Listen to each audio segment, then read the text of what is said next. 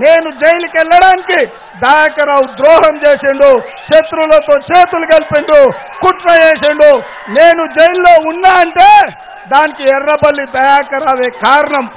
ఇవాళ కాంగ్రెస్ పార్టీ కార్యకర్తలారా ఇవాళ తెలంగాణలో తెలుగుదేశం పార్టీని దెబ్బతీయడానికి దయాకరావు కుట్రలే కారణం. ఆ రోజు శత్రుపక్షాలతో చేరి కుట్రలు చేసి తెలుగుదేశాన్ని దెబ్బతీసిండు. అందుకే ఈ వేదిక మీద నుంచి తెలుగుదేశం పార్టీ అభిమానులకు కూడా నేను పిలుపునిస్తున్నా. మీరందరూ కలిసి రాండి.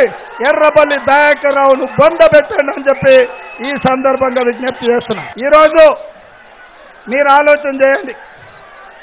ఈ ప్రాంతానికి పట్టిన శని ఎర్రబల్లి దయాకర్ రావు ఇవాళ దయాకర్ రావును ఓడించాలంటే మీరందరూ కలిసికట్టుగా పనిచేయాలి.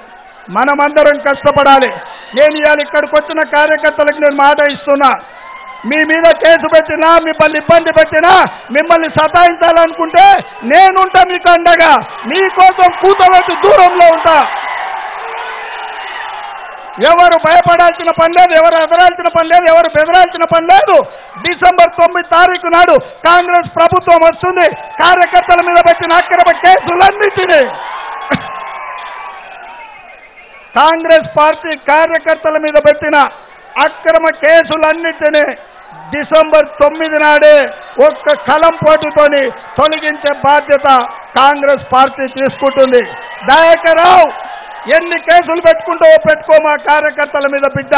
ఇంతకింత మూల్యం నువ్వు చెల్లించాల్సి వస్తుంది. అక్రమ కేసులతో లేకపోతే లాలూచీలతో వెన్ను పోట్లతో గెలవాలనుకుంటున్నావేమో నీ వెన్ను పోట్లు సాగవు.